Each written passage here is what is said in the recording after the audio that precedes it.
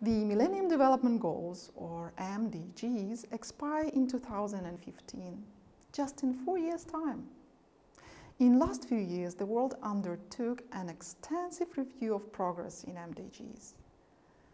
In the context of multiple high-level events, such as the UN MDG Summit in September 2010, governmental leaders, development experts, and other stakeholders examined trends in global and regional progress. Since year 2000, there has been clear progress in all of the MDG targets at a global level, although Africa and South Asia have made the slowest progress on most targets.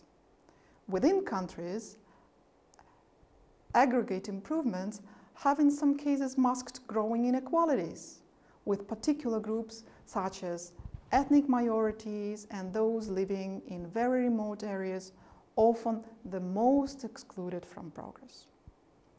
At the same time, MDGs have been criticized for the lack of participation which was involved in the formulation of MDGs, lack of specific commitments for rich countries, and for neglecting key areas of importance for development like good governance, human rights, and so on.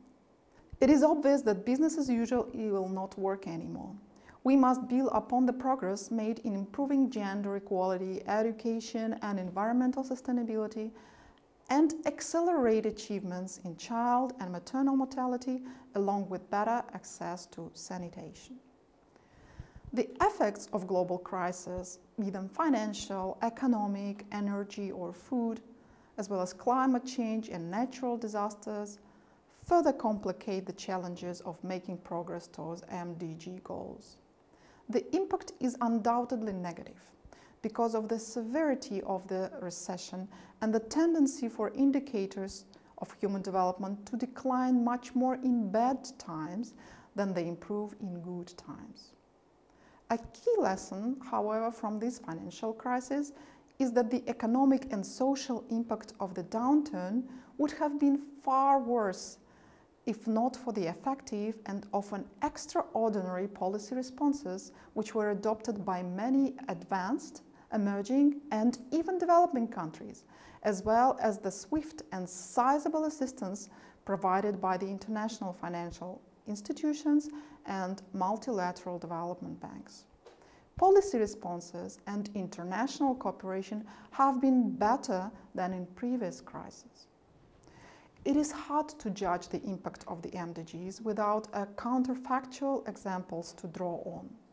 But there are reasons to believe that they have had the effect on mobilizing aid funds and of directing aid towards particular sectors such as primary education. They have also been uh, used as an advocacy tool in both global and national contexts. At a time of uncertainty, we need to extend our limited resources further. The actions we take today will shape future opportunities and challenges that international communities had committed to redoubt efforts towards achieving the highly ambitious MDGs targets by its deadline in 2015. Otherwise, many countries risk missing the deadline unless they take immediate action. One of the mechanisms for acceleration of the progress in MDGs by 2015 is called MAF, MDG's accelerated framework. It provides national stakeholders with a systematic approach to identify off-track MDGs, means those for which one or more targets are likely to be missed at the current rate of progress, and which countries want to address. Then it analyzes bottlenecks that are causing MDGs to stay off track or to advance too slowly. And after that, it aims to generate shared diagnostics and to recommend comprehensive, collaborative and focused actions based on prioritized acceleration solutions. But what will replace the MDGs after their expiry date in 2015? As you know, MDGs are not the only global agreement. There are very different models in existence which together illustrate the range of possible types of agreements which could be negotiated at the part of the post-2015 development strategy. Today, in the year 2012, we are a long way from right global agreement. But the building blocks are there. The experience of the MDGs has shown that such things are possible and that the progress can be made. The global political environment is changing, of course, but new dynamic, dynamics and changing circumstances can provide opportunities for actions as well as barriers to progress. While research is starting now, the political progress may not get going until 2013.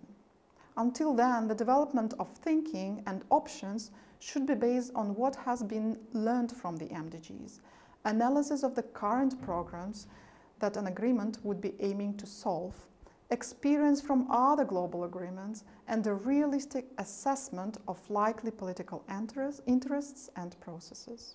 Recent months have seen increasing interest in the idea that Rio Plus 20 summit could be the launch pad for a new set of Sustainable Development Goals, SDGs.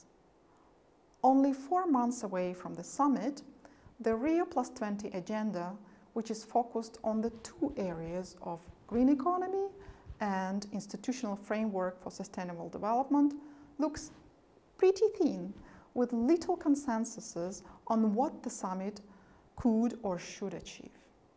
Against this backdrop, many governments and advocacy groups are likely to regard SDGs as a relatively achievable and tangible win. But what would SDGs cover? What would a progress to define and then implement them look like? And what would some of these key political challenges be? There is a little clarity on that, what SDGs should cover. One option would be for SDGs to address key sustainability gaps in the MDGs between now and 2015. The MDGs handling of sustainable development has often been criticized with everything bundled into MDG 7, which was simply to ensure environmental sustainability. One suggestion for SDGs then is that they could add specifically to the MDGs by defining new goals or sub-goals on concrete areas missed out in the MDGs. For example, access to energy. Such goals would run over the same time scale as the MDGs by 2015 and then be folded into the discussions on what happens after that date with no assumptions built in about SDGs beyond 2015. Alternative, alternatively, SDGs could become the successor framework to MDGs. Some commentators have wondered whether SDGs might become umbrella concept for post-2015 goals, encompassing and replacing the MDGs after that date. The UN Secretary General has backed this approach, saying in his opening to the General Assembly in 2011, quote, let us develop a new generation of sustainable development goals to pick up where the MDGs leave off, unquote. Where the MDGs were focused solely on developing countries, discussion to date about SDGs strongly tend towards the idea that they would be universal, applicable to developing and developed countries alike. However, this still leaves a major question mark over whether SDGs would apply only to global issues, leaving them open to the change of being largely rhetorical, or specifically to the policies of all 192 nations of the members of the United Nations, which would significantly raise the political stakes.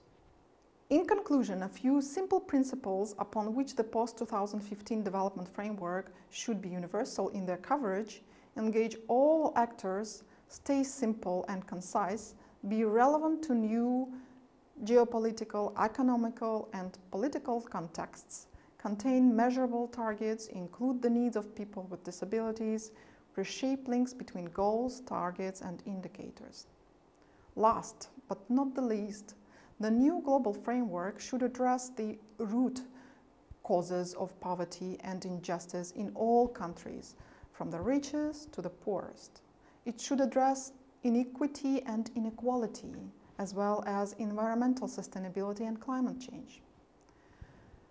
It should look upon the responsibility of national governments to sustainably manage their natural and financial resources, to the responsibility of the international community to support developing countries in the face of global challenges, to respecting their official development agenda commitments, as well as through innovative redistributive funds mechanisms which would generate additional predictive finance.